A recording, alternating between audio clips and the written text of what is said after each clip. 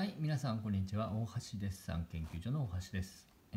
ー初めてのねデッサンということで、えー今回は直線のねスムーズな、えー綺麗な直線の引き方とね、まあ、あとスムーズな曲線の引き方についてね、えー説明していきたいと思います。うんなかなかねあの初心者あのね、えーじゃあ始めてみようって言った時にねあの例えばあの箱を書くとかね、まあ、直線とか出てきますよね。まあ、例えばコップを書くもあの曲線が楕円の線とか出てきますけど、えーそれなかなかうまく弾けないもんなんですよね。うんなんで、えー原因とね、えーとコツについてね説明していきますので、えーよろしかったら参考にしてみてください。はい。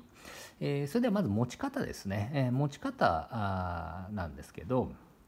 えー必ずね、えー、と字を書く、ね、鉛筆だと字を書く持ち方をね叩き込まれてるんでね、えー、とこれ以外の持ち方をすると怒られてしまうっていう癖がついてますのでトラウマが皆さんありますんでね。なんでこう思ってしまうんですけどね、えーでまあちょっと今悪い例を書いていきましょうか、うん。まあ直線をねうまく引けない人っていうのは必ずこう思ってることが多いですね。こんな感じね、うん、それでえっ、とねこうやって一筆書きにしちゃうんですよね。こうやってね。こんな感じで、うん、ってこうガタガタしてねこうこんな感じで、え1回でこうビューっと引いちゃうんですけどこんな感じでね、うん、とこれちょっとゆらゆらゆらってしちゃうわけですよね、うんはい、でじゃあちょっとねあのいい例を描いてあの絵を描く時の引き方でやってあげるとまず今皆さんねちょっと覚えてください。この字書く持ち方にまずしちゃっていいですよ。そしたらこれをね字書く持ち方したらこのままズズズズズっとこのこの辺までここをまあ5センチぐらいねバックしてあげてください、うん。もうここがあのギリギリ引っかかるから、もう引っかかってなくてもいいですが。この状態になってても構わないです。こんな感じね。うん、こんな状態でも構わないです。こうなこう字を書くのをギューッと引っ張って、えー長くしちゃってください。でちょっと,、えー、と引きたい線に対して遠めに構える感じです。そうですね、うん、そうすると力が抜けるんで、うん、それで、えー書いていく感じですね。で、えっと線をこう送って送って書いてきますんで、えーちょっとこうスイングしながらね書く感じです。うんこんな感じですね。うん、こうやってスイングしながらシュッシュッシュッとだんだんだんだんこう伸ばしていく感じです。そうすると、えーあのまっすぐな、ねえー線が、えーピタッとね、えー引けてくれて、こうやってちょっとずつちょっとずつこう何回もなぞる感じですよね。うんなぞってる部分の方が多くて新しくできる線の方が少ないくらいです。うんちょっとずつしかこう進まない感じで。うんこれみたいにダダダダダっていっちゃわないように気をつけて、うんあのゆっくりね、えーこれをこんな感じで、えー進めてあげると。ちょっと薄いんでね見えますかね、うん、こんな感じですね。うん、とどうですかね？この線だとこれが一筆書きの線なんですよね。うん、で線って分かっちゃうんであこうやって短く持ってこの人一筆書きで書いたなとかね。あこの人ちゃんと送って書いてるなって。いうのは線を見れば一発で分かりますんで、うん。まあ、この違いをね、えーちょっとね。あなんだそういうことかってことね。あのこんなこう持ってるとこれできないんですよこれね、うん。力が入っちゃうんでこの長くこれを長く持って、えーそれでこう送って送って書いてあげる感じです、うん。これはどんな線でも同じですので曲線でもね、うん。はい、じゃあ同じように、えー曲線バージョンでね、うん。えー、とまた悪い例を書いていきましょう、うん。今度は曲線バージョンで、えーいきますけど今度は、うんまあまあ同じですよね。短く持って曲線をこうね、まあ、波打ってる線とかこう書いていくとこういうふうにこうなななっていくわけですよね。うん、こういう感じです。うん、こうなっちゃって。こうな感じですよね。まあ、多分一筆書きで書いちゃうと思うんですけどね。こういうふうにね。うん。まあこうこうするとなんかねこうなんかこうぎこちなくなってガタガタしちゃいますよね。うん、なんかゴツゴツしてるようなものだったら書けんだけどこうスムースなね、えー物体を書くときにはこれだとこうガタガタしちゃうわけですね。うん、触り心地があれなんで。うんなんでこれもね同じ要領で、まあ、どっからやってもいいんですけどこれも、えー、とこうやって手を動かすことが大事なんでこんな感じでこれをもう一回復習するとねこれを長く持って。それでこうやってシュッシュッシュッシュッとこうね、うん、動かす感じでね。で少しずつ少しずつこう伸ばしていく感じです。うん。で曲線になってくるとね今度ねあのもう一個問題があってこうこの角度ですね。今度右右利きの人は右下がりの角度です。これね。こっちカーブは引きやすいんですけどこっちカーブが引きにくくなるわけね、うん、これはね手が落っこっちゃう。これも字を書くのと同じ感じです、うん。字を書くポーズで書いてるとここがね引けないんですよね。こうやって指でこう引くことになっちゃうんで手がううまく動かないわけね、うん。それでちょっとカメラを引いてみると分かると思うんですけど今度は右下がりのカーブに入ってきたら今度手をこう上に上げます、うん、分かりますか？ちょっとこう見るとね。こういうふうに手を回転させる感じでこう手首をこうグッとねちょっと辛いんですけど上に上げてます。わかります？こんな感じです、で上に上げると横から線が入れられるんでこれがスムーズに入ります。ただこうだんだんだんだんこうやって下げていく感じです、うん、ですか？うん。だんだんこう下げていく感じです。だんだんね。うん。こんな感じ。でこうなってまた今これ例えば S 字カーブになってるとこまた上がってきますよね。これね。今度こっちにね、うん、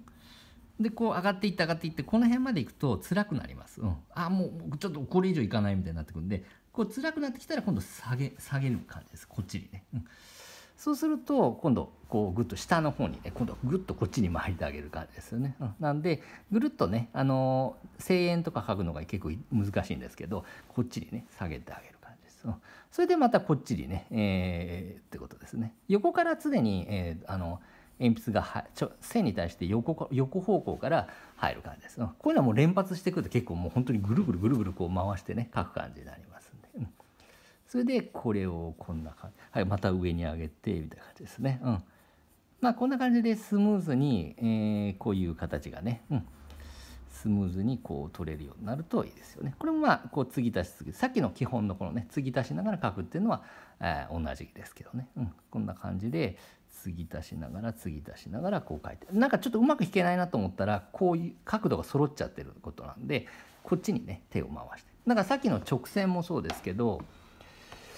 直線もそうですけどこれをねこうこういう角度でまあ例えば横向きでもいいですよね、うん、横向きで例えばえーと、こういう角度で弾くと難しいわけですよね。いくらこうあのついで、えー、つなげて弾いていってもね。なんでこうじゃなくてこの線に対して直角方向からこう入る感じですね。こういうふうにね。なんか横に、えー、横方向からだから横の水平線みたいに弾きたい時はこうやっていくってことです。常に横から入る感じ。ですね。こう揃っちゃうと、えっと、手がこう指でこう引くことになっちゃってちょっとやりづらいんですよね。なんでこうやって横でこう横横で引く感じ。ですだから手がこういうふうにね動かないと絵の場合はあのうまくできない。これがねあの止まっちゃって字書く時ってほらこれをこうすることないないじゃないですか。だからあの慣れてないんですけどこれにまずね慣れていってください。こう手がこう運動してこうやってこうやって。上手な人って必ずこうやってこうやって手がこういうふうに手首が回るんですけどあの初心者の場合は必ず手が落っこっちゃうんですよね。これ字を書く持ち方に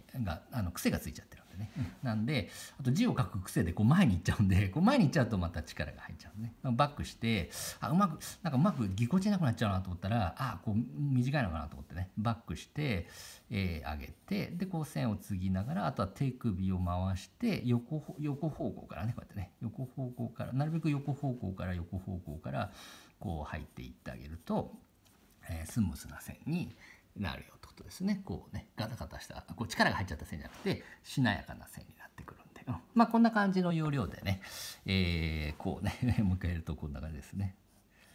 まあ、ちょっとこう落書き的にねこうちょっと練習してみるといいですね。こんな何でもいいんですけどね、うん、丸でも何でもいいんだけど曲線がスムースに、えー、できるようにっていうのをこうやってね練習してみると、えー、いいでしょうね。うん、あちょっとずれちゃうなと思ったらこうね手首をこう返してあげる。うん、まあここが180度回ればいいんでね。ちょっと慣れてくると勝手に考えなくてできるようになるんでこうやってずっと上げていってああもう辛いなと思ったら逆にするとですね。だからここが鉛筆が180度です。こっちの方ね。左利きの人はこっち回しで180度です。180度手が回ればあとどの角度でもねどの方向からでも入れられるので、えー、それをね是非覚えて、えー、てください。はい、なんで、えっと、スムーズに弾けない人はねそれでなんかつまんなくなっちゃってもうねもうなんかまっすぐ弾けないから嫌になっちゃったっつってね。それでデッサンやめちゃう人はねすごくもったいないんでね。あのなんてことないですからね。こんなコツで、えできるようになりますんで。特に独学だとねちょっと周りに書いてる人がいないんで持ち方だとかっていうのは詳しくね教えてくれる人いないと思いますので、